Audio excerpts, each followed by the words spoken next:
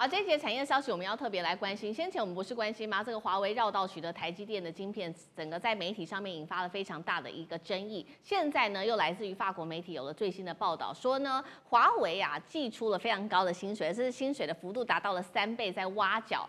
呃，台积电的工程师，而且呢，这工程师根据他们的说法，他们说，哎，每三个月就会收到哦，来自大陆猎人头公司他们的 email，询问说，哎，你是否有意愿到大陆去，到华为工作？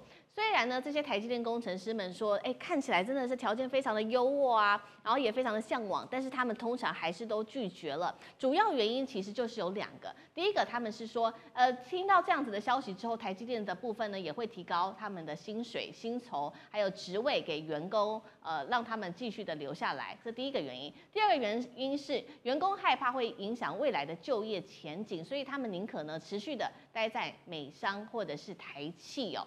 好，我们现在。看到华为高薪的挖角台积电人才，台积电又寄出这个高薪来留才，现在两岸是在上演抢半导体相关的人才吗？那又为何刚刚提到的这个台积电员工会担心去中国大陆的这个华为工作呢？委员怎么看？人才、商品、资本的国际化流动，在现代的市场经济是一个很正常的。不要说台积电的工程师啊。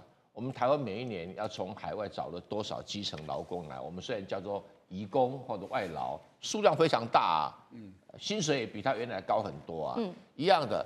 现在就是华为来挖台积电的工程师，对台积电工程师是好的，嗯，证明他品质好，而且是台积电没有付给他足够的薪水，他应该值三倍，所以台积电被迫要提高薪水，嗯，所以啊。这个华为来抢台积电工程师，是帮助台积电工程师有更多的筹码可以跟台积电要钱哦，这是好事情。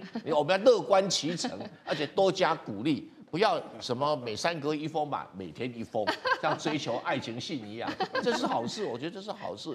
啊，这个接到的这个工程师也自也要自己自豪，我也很有行情，对不对啊？不像我都没有人在邀请我，哦，是吗？害怕这个未来的就业的前景哈，这个也不是要说害怕了，因为毕竟哈，这种都有家有小嘛，对不对哈？移动工作哈，就有一个很复杂，像张忠谋也是台湾。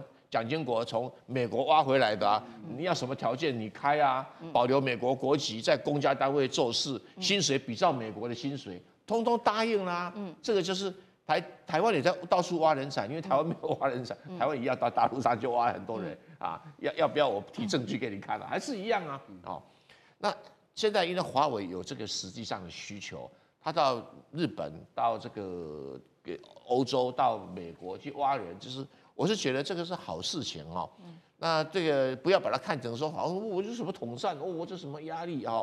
比如说这个大陆上半导体业挖的最成功是谁？梁孟松啊，如果没有梁孟松的话，中国大陆啊不晓得有多少骗子是骗政府的钱，就是这样子啊。他挖对人才，他的而且梁孟松是心怀祖国，他有一个很特殊的中国的那种情感呐。嗯，哎，三星给他价码是用一千万美金起跳的。那中国说，那这样好不好，我们比较穷，我们就二十万人民币好不好？啊，他就收了，就当时收了啊。然后中国之后，那我给你一栋别墅好不好？人家这个三星说，我给你一排，对不对？这个大家抢嘛。可是这种爱国的心情是无法被替代的嘛，哦，而且更可贵的，他出身是华侨背景啊，所以我是觉得哈，这个哪一天哦，这个中芯国际啊，打败了很多的大厂的时候哈。哎，可能门口要立一个哎，这个梁孟松纪念碑，这很重要的里程碑。今天能够做到七纳米，就是梁孟松的功劳啊！全世界都公认，因为他他这个人就是有一种天分哦。虽然能七十好几人，脑筋动得超快的，他知道如何把这些旧的机器哦磨令鼓弄一弄啊，这个变成高阶的生产系统，是很了不起一个人。多挖几个梁孟松啊，多挖几个，有啊，台积电很多啊，而且年轻一代的，因为梁孟松。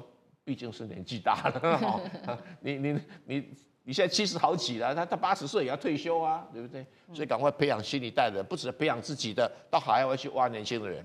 嗯，好，我们帮我们看到这个人才本来就是流动的。其实上，华为不只是争这个半导体相关的人才，刚刚说工程师嘛，他们呢现在在扩大他们的脚步，在设备通讯业，因为今年真的是表现的也是非常的好，尤其是第三季哦，大家都表现的不好，在全球通讯产业都不好的时候，只有华为营收是持续正成长的，其他大厂包括了这个 Nokia、爱立信、三星都在裁员哦，那都可能会成为华为征才的对象。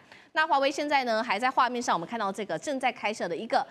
呃，达到了一百个足球场大小的这个研发中心，也是在为这种设备相关呃的领域呢来做努力。那听说呢，现在也在招募人才了，每年起薪哇达到了新台币七百六十万元。好，那另外一方面，华为在壮大，还有它的高 CP 的这个产品，也就是它的设备通讯嘛。西方国家当然很紧张了，当时在二零一九年的时候，美国就开始进华为，接着欧盟啊、英国也跟着进。但是大家说要进，说了很久了，要进这个五 G 设备。但是到现在，我们看到了这很多的政治人物啊，或者是电信业者，他们都认为说干脆不要进。原因是什么？因为你真的要进的话，你自己做太耗时又太耗成本了。所以呢，欧盟执委会做了一个统计，他说旗下二十七个成员国都必须要遵守这个华为的禁令，但目前只有七个国家是真的有在做一些实际的作为。呃，现在欧盟的态度到底是什么？能拖就拖吗？赖老师怎么看？呃，欧盟当然希望说那个它的成员国都能够执行啊，因为我们都知道欧委会的呃，就是欧盟的执委会啊，冯德莱恩他是一个啊仇中反中，而且是亲美啊，他已经把欧盟变成美国的赋水组织的一个领导人，很特殊。这个领导人在过去啊，他跟川普其实也是很不搭嘎的啊，然后他跟啊这个欧盟的很多的国家 的政治的领袖都是非常的。不愉快的，他是很，我们用闽南话讲“告狼玩”，啊，就是说他是一个很不讨喜的人，而且他本身对于梅克尔提拔他的人，他本身没有什么感情，这样的一个有点刻薄寡恩的人啊，那他为什么能够连任？最主要的，因为他本来位置看到的是北约的秘书长，那由于法国跟德国他的母国强烈的反对，你看连他的母国都强烈反对他去接北约秘书长。所以才会让荷兰的旅特拿到，你就可以知道这个人。而且法国的马克龙是积极的反对，美国拜登一看啊，这个不可能用的，因为欧洲两大国的领袖都反对，怎么可能用他当北约秘书长？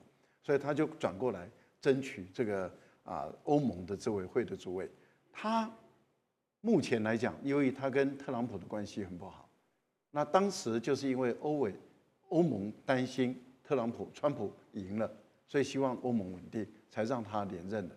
这个人，他当然希望他的会员国都能够遵守。可是问题是，欧盟的成员国很清楚知道，打压华为是政治因素，不是真正的国家安全因素。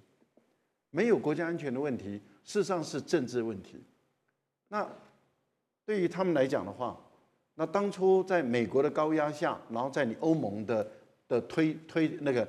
那个 push 的呃促呃推进的情形下，你们要我去把这个华为拆掉，那我就问几个问题。第一个，华为当初啊给你四纳米或者三纳米的时候，呃不是那个四 G 跟三 G 的时候，它是可以在很小的情况下提升到五 G。嗯。你如果整个把我拆掉，嗯，那我今天用爱立信或是用嗯啊这个其他的系统。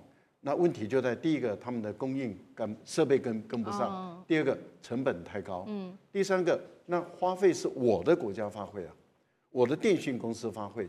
那很多电信公司它是私人资本的，对，它并不是国营企业。嗯如果是国营企业的话，大家问，那为什么政府要买？人民那要纳税钱要买单？那如果是私人企业的话，那你政府要不要补贴？嗯，那你政府不补贴我，你要我做，所以你会看到他们大部分的策略就是。听到了不动，这第一个，绝大部分的国家都不动。第二个就是我做一半，嗯做的很慢，像德国就做的很慢嘛。德国就慢慢来做，慢慢做，然后一面做就一面埋怨嘛，说你政府要给我补贴，你的补贴不够。所以我个人是觉得，呃，现在看是川普了上来了以后会不会再盯这个事？如果川普不再盯这个事的话，那这个事可能在啊欧洲就就不见了，就没有人再理了，然后继续用华为。嗯，好，再来，我们再看到的是，刚刚看到是设备嘛，还有各国现在在使用华为的使用率。那我们现在来看到是消费市场的部分呢，我们要来看到包括华为的操作系统鸿蒙今年的发展到底怎么样？哦，今年第三季在中国的市占率是确实有提升，从百分之十五增长到百分之十五了，百分之十三增长到百分之十五了。那现在看起来呢，达达到了和 iOS 相同的水平，但是跟这个安卓比确实还是相差蛮大的。安卓现在目前的市占率高达了百分之七十，那这个是在我们看到的是它在它的手机的操作系统的部分。再来就是它的消费市场手机的部分，华为十一月份即将会推出它的新的。旗舰机 Mate 七零系列会搭载的旧式的新鸿蒙的作业系统五点零，说要彻底摆脱 Android 换皮设计。好，之前我们讨论了很多三折机，现在看到的是 Mate 七零又要推出了，会给 iPhone 在中国销售带来什么压力？啊，大家怎么看？那当然就说，如果正常发展下去啊，那当然就说中国会给大家带来的压力会越来越大。但是呢，就像这个赖教授刚刚讲，就说他们这个呃这个呃叫。会不会打压？看这个川普会不会打压？我是觉得川普不但会打压，而且会努力打压。嗯，为什么？你要考虑到，美国在川普这第一任二零一六以前有三个总统。嗯，克林顿、小布希、奥巴马这三个总统取消了一个什么职位？你知道吗？就是美国总统国家科学技术顾问。以前总统有这个顾问的，这三个总统把它取消了。取消的目的何在？他就认为说，美国的科技稳如泰山，谁也跟不上。哦，结果呢？嗯，川普呢？他所以我说川普很聪明，你不要看他一天到晚那个啊，这个这个这个这个这个会对美女有兴趣的人，通常都特别聪明。哈，那么这这个川普呢，他就认识到了美国在科技和经济上出了问题。你不要忘了，这他在二零一四年就注意到，就说为什么华为在五 G 方面取得了重要成就。他那个时候觉得说一定要，要要要修理华为，所以二零一六年上台以后，大家不要忘了，孟晚舟什么时候被逮的？二零一八二月一号，在加拿大就被限制自由，就就跟那个那个当然就看出来就是一个冤枉一个那个嘛。但是他呢，二零二一九月二十四才离开，这中间主导的就是他川普。没有川普在中间主导，后面不会见整个排除这样，连连加拿大都参与都是那个。所以呢，川普他是会知道，就是整个在科技这个产业上面呢，他知道要对抗中国的话，在这一方面呢不能手软。所以他在后面会怎么做？我觉得这是这是大家就说必须要去要注意的，不要忘不要低估了川普要保护每个美国企业打压中国的这种意义。以及这个以及蛮干啊，这是我是觉得中中国大陆要特别注意。